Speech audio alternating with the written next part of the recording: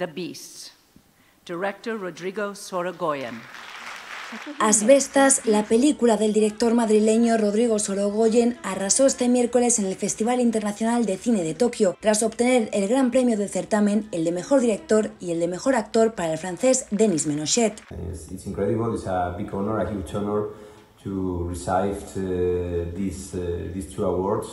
Then thank you, thank you for the festival, thank you for the jury, uh, obviously, tomo arigato, uh, I'm, I'm, I'm very happy. Alberto Calero, director del Latin Beat, el Festival de Cine Latino en Tokio, fue el encargado de recoger el galardón ante la ausencia de los miembros del elenco por compromisos profesionales. La 35 edición del festival premió a Asbestas con el galardón más importante frente a otras 14 cintas internacionales. La encargada de entregar los premios fue la estadounidense Julie Taymor, presidenta del jurado del festival. El premio a mejor actriz fue para la chilena Aline Kuppenheim Gualtieri, por su trabajo en el film 1976, debut de la directora y también actriz Manuela Martinelli, quien subió al escenario a recogerlo.